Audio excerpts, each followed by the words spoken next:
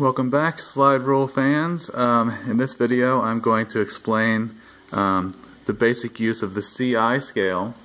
Um, most basic slide rules will have the CI scale. Again we're looking at a basic type slide rule. Uh, so most that you'll find um, available uh, have the scales on this slide rule. Uh, CI is one of them. You'll notice CI here is in red.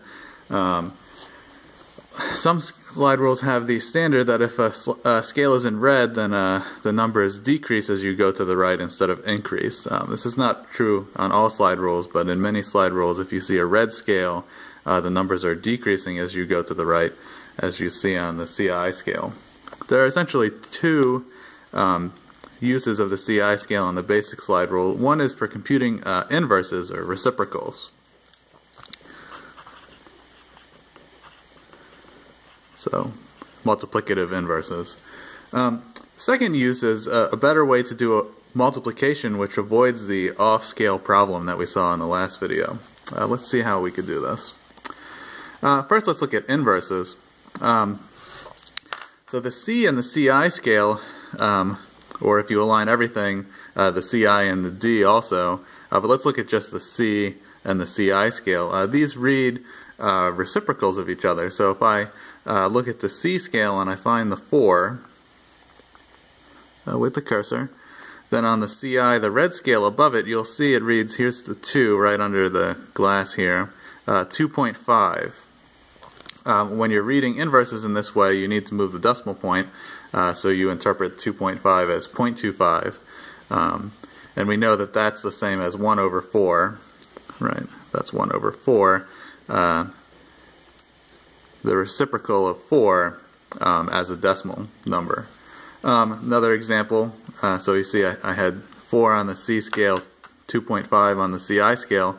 Um, you, you also see, um, if you were to find 4 on the CI scale, you will also see uh, 2.5 on the C scale. We know uh, the reciprocal of the reciprocal is the original number, so it doesn't matter which scale you start with here. Um, Another example could be 2 and 0.5. So if I found 2 on the C scale, I would see 5, which I interpret as 0.5 on the CI scale. Um, or if I found 5 on the C scale, I would see 2, uh, which I would interpret as 0.2 on the CI scale. Um, if I was starting with 5. So again, you, the, the, the, operator needs to know what they're doing here to get the correct answer, right? Because uh, the 2 0.5. Here, if I if I start with the 5, maybe I'm maybe I'm thinking of the relationship 5 uh, has inverse relationship with 0.2, 1 over 5, right? Um, that's reading the same numbers on the scales as the 2 and the 0.5, right? Um, okay, so uh, operator beware. Um, now, how does this work? Uh, so let's see. What if what if I want to compute log of 1 over 4? I know from the log rules this should be log of 1 minus log of 4. Um, log of 1 is 0. Uh, another way to think of this is that log of 1 over 4 um, is the same as log of 4 to the minus 1. And in both cases you see that I get minus uh, log of 4. Uh, we have another log rule that that exponent could come outside. Um, and from this relationship, you, you see that the CI scale, uh, the scale that you want for computing inverses, uh, should run in reverse, right? Uh, what it should show is minus log of 4. Uh, so in other words, the CI scale should measure things in reverse, and you see it does. Uh, you see actually that the CI scale is exactly a reversed C scale. Um, so you see here the distances are greater on the right, and the distance from 1 to 2 here is the same as the distance from 1 to 2 here on the C scale the distance from 1 to 3 running in reverse on the CI scale is the same as the distance from 1 to 3 running forward on the C scale. So the CI scale exactly uh, runs in reverse of the C scale. On some slide rules you will see a DI scale which um, is essentially the same as the CI scale uh, running in reverse of the D scale.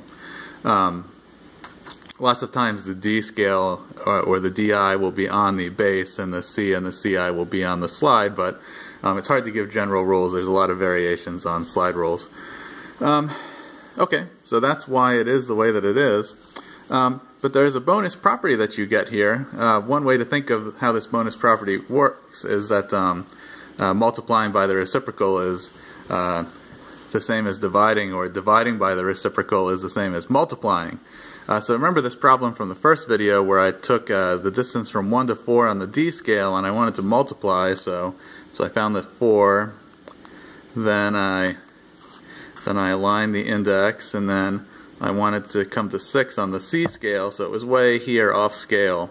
Um, and I fixed that by reversing uh, reversing it and look using the other index because the indices should be the same. That's hard to slide here. Uh, okay. And then finding the 6 here and reading the result 2.4 or 24. Uh, the problem is that that was a lot of work and you don't want to reset the slide if you don't have to. Um, when you don't when you realize that you use the wrong index and you should have used the other one to avoid going off scale. Uh, so you can use the CI scale to avoid this. Um, so let's try.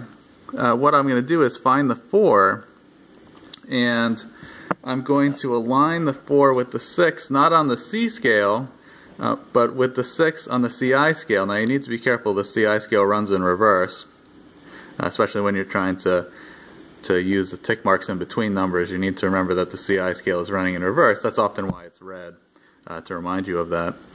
Um, but then, I'm doing this kind of like division. I align the two numbers, except I use the CI scale.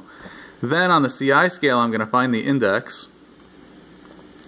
And I see the result, the correct result, 2.4, which I uh, will interpret as 24, um, on the D scale.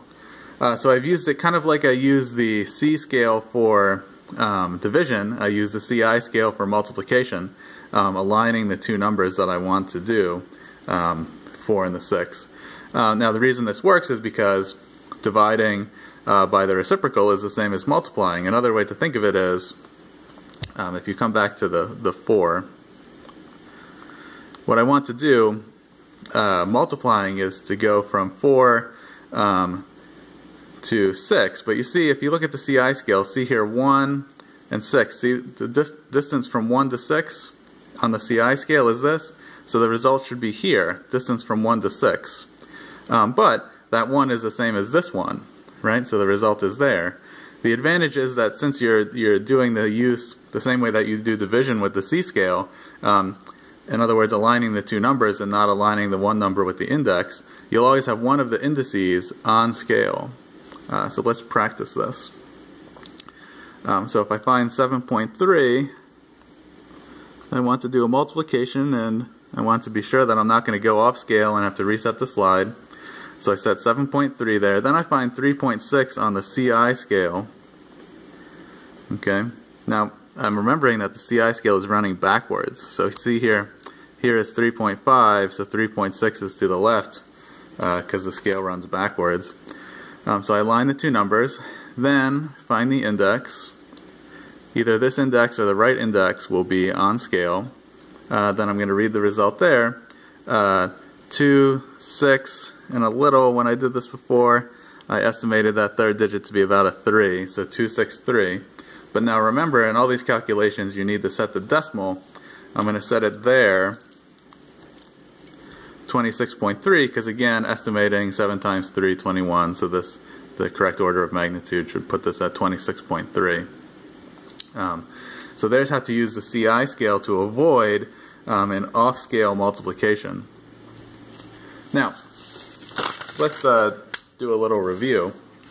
Uh, how to do multiplication and division avoiding off-scale okay so from the, the previous video uh, we did division, the first video in the series. Um, so the way that we did it is we found the first number on the D scale, then I aligned that with the second number on the C scale, found the index of the C scale, read the result on the D scale, then placed the decimal point.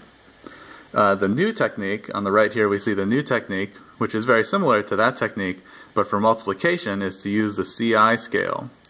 How do you do it?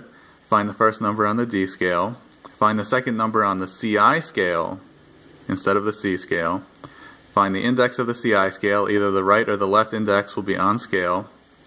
Uh, read the result on the D scale, and then using estimation, place the decimal point.